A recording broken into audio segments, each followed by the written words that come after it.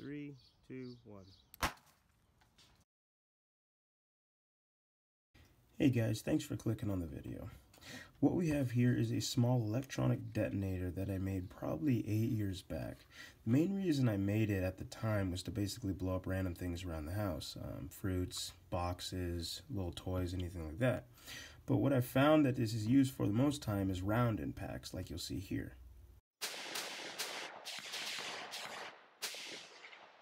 By the way, the video you guys just saw was from Hourglass Independent.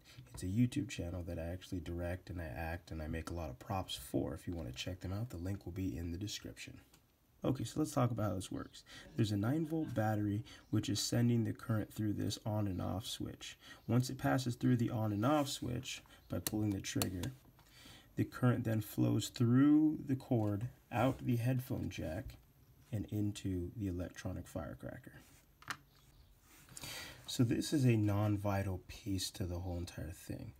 Essentially what this does is just connects around the wire so I can stake this in the ground and while I'm pulling out the wire to where I'm at to stay safe from it, it doesn't pull this closer and closer. So essentially this is just an anchor point.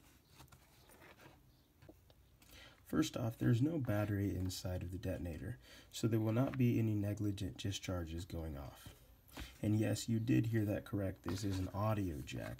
And the reason I made it this way is so that there was not two connectors hanging out and anybody could accidentally connect this and then blow their own hand off.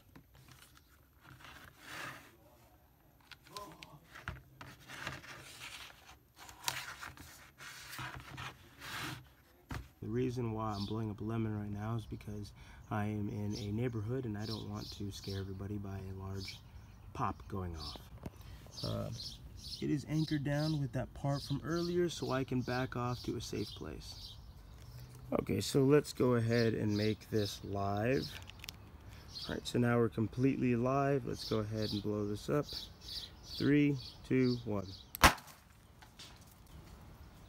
No more lemon. Hey guys, if you like what you saw, go ahead and subscribe and hit that notification bell. Um, there's a lot of stuff that I want to start putting on this channel, more than just that little detonator. Um, I've been doing this for about 11 years, and that thing was from years ago. It's just the simplest thing I could put out right now.